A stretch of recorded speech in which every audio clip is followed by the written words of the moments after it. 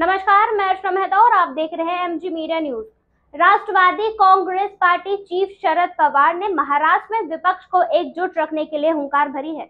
उन्होंने कहा है कि अगर उनकी पार्टी एनसीपी के साथ ही कांग्रेस और शिवसेना तय कर ले कि महाराष्ट्र में बदलाव लाना है तो राज्य में बदलाव आकर ही रहेगा। बता दें कि तीन पार्टियाँ महाविकास आघाड़ी गठबंधन में शामिल हैं। एक पुस्तक विमोचन समारोह में बोलते हुए शरद पवार ने कहा कि वर्तमान राज्य सरकार के साथ जुड़ना मुश्किल है। पिछली सरकारों को याद करते हुए पवार ने कहा कि पहले की सरकारों में प्राचीन कला संस्कृति, साहित्य और इतिहास के संरक्षण में काफ़ी मदद की। जिस कार्यक्रम में पवार ने ये सभी बातें कही, उनमें शिवसेना प्रमुख उद्धव ठाकरे और वरिष्ठ कांग्रेस नेता बाला साहेब ठाकरे भी मंच पर मौजूद थे।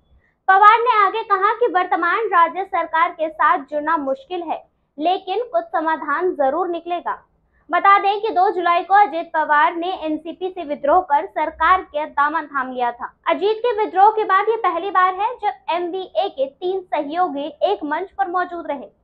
कार्यक्रम के दौरान पवार ने कहा था कि यशवंत राव चौहान प्रतिष्ठान किताबें प्रकाशित करने वाले समूह राजवाड़े इतिहास संशोधक मंडल को 50 लाख रुपए देगा। बता दें कि पवार यशवंतराव चौहान प्रतिष्ठान के प्रमुख हैं। वहीं आपको बताते चले कि अजीत पवार ने बगावत के बाद शरद पवार से मुलाकात भी की थी। इसके बाद ही शरद पवार गुट के विधायक बेचैन नज़र आए थे। विधायक प्रदेश अध्यक्ष जयंत पाटिल से अजीत पवार और बागी विधायकों के बारे में जल्द से जल्द रुख स्पष्ट करने को कह चुके हैं।